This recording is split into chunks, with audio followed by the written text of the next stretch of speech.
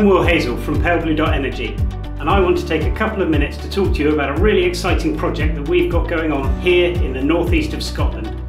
This project is critical when it comes to dealing with carbon dioxide emissions, and it's called the Acorn Carbon Capture and Storage Project, or Acorn CCS.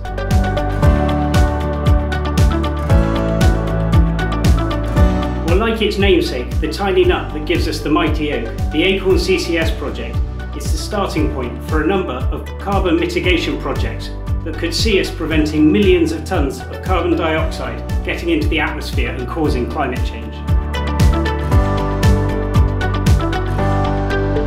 Carbon capture and storage, or CCS, is a suite of technologies that allows us to capture large emissions of carbon dioxide, treat it, and then transport it for permanent storage in rock formations deep underground. In the case of the Acorn CCS project, we're going to start at the St Fergus gas terminal, where we will capture existing CO2 emissions from the gas processing plant. We will then dry, condition and compress the gas so that it can be easily transported out to sea using one of the existing, now disused, offshore pipelines. This will take the CO2 straight to a new injection well on the Acorn storage site, where we know there are world-class rock formations which will safely and permanently store the carbon dioxide deep under the North Sea.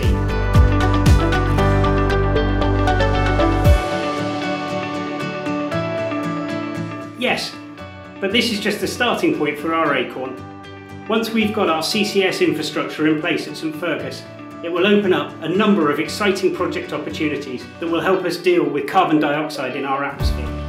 This includes providing a transport route via an existing natural gas pipeline to store CO2 emissions captured from industrial processes in central Scotland, using Peterhead Port to ship CO2 in from other areas that don't have such great access to storage. This could include industrial emissions from around the UK and Europe. Finally, it gets even better. We're developing a project to produce hydrogen from the natural gas that comes ashore at St Fergus. Hydrogen is widely considered to be a fuel of the future this would remove and store the CO2 that many of us emit when we use fossil fuels to cook, heat our homes and travel around.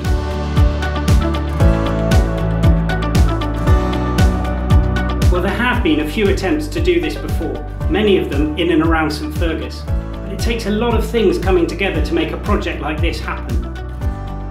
Government commitment, the backing of industry, and everybody's desire to do something about climate change. And we're really lucky because that's precisely what has happened. And all being well, we should be up and running in a few years.